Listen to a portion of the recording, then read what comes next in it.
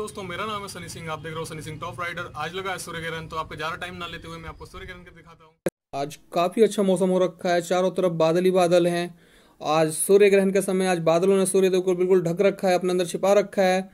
तो आगे मैं आपको दिखाता हूँ, यहाँ पे सूर्यदेव बिल्कुल थोड़ा सा दिखाई दे यहाँ पर बिल्कुल क्लियर है कि सूर्य ग्रहण कैसे लगा हुआ है। तो मेरी दोस्तों, आपको वीडियो अच्छी लगती हो तो ज़्यादा से ज़्यादा लाइक करें शेयर करें और मेरे चैनल को सब्सक्राइब कर दें। तो जय हिंद दोस्तों, फिर मिलते हैं।